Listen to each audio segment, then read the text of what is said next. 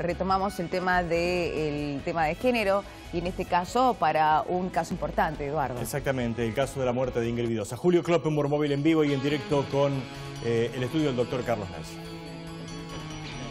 ¿Qué tal? Buenos días, Eduardo Desiré. Efectivamente, comienza hoy a las 9 de la mañana en el edificio de Tribunales 2, en una cámara específica que ha llevado adelante ya la parte final de esta acusación.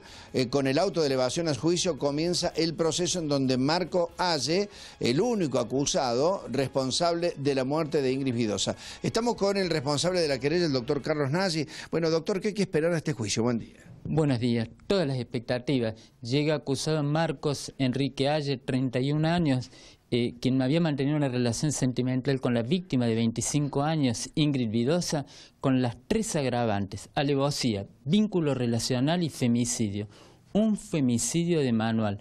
Planificó la muerte en medio de una relación gobernada por la violencia verbal, la violencia física, una relación tóxica donde la había aislado del mundo y una decisión que la terminó condenando a muerte, interrumpir la relación.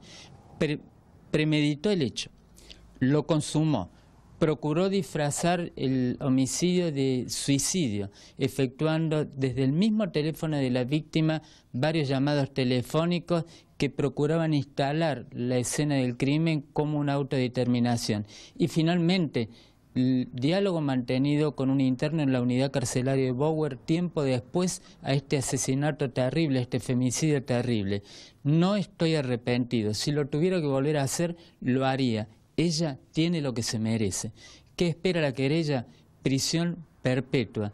Eh, y por cierto, nada alcanza. De todas maneras, es la única sanción que está vigente en el Código Penal para este tipo de hechos. Eh, doctor, eh, hablando del perfil de, este hombre, eh, de Marco Ace, ¿él tenía casos o antecedentes de violencia de género? si bien no tenía antecedentes de violencia de género a nivel justicia criminal, sí lo tenía a partir del relevamiento que efectuó en el vínculo relacional con las otras parejas anteriores. gobernada también eh, recorría esta relación, la violencia física, la manipulación, el acoso, el control excesivo. ¿En cuántos casos, perdón doctor, en cuántos casos? Dos casos anteriores. ¿Y esas dos mujeres van a declarar?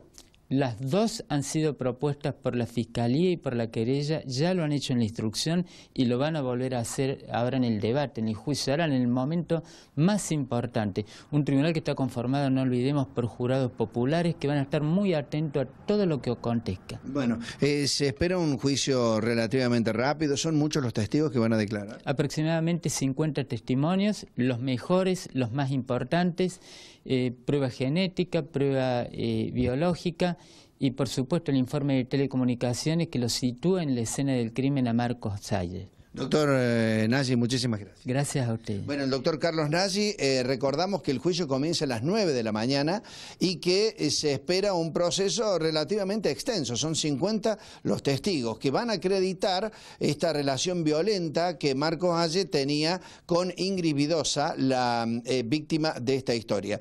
aseguran que hasta los propios compañeros, trabajadores, empleados de la COPI, de las sierras donde trabajaba Ingrid Vidosa, dan testimonio de las escenas de celos y de permanente presencia que hasta al lado de la caja tenía este hombre eh, para tratar de manipular a esta víctima de este horrible femicidio. Ustedes en estudios volvemos con otras historias en instantes.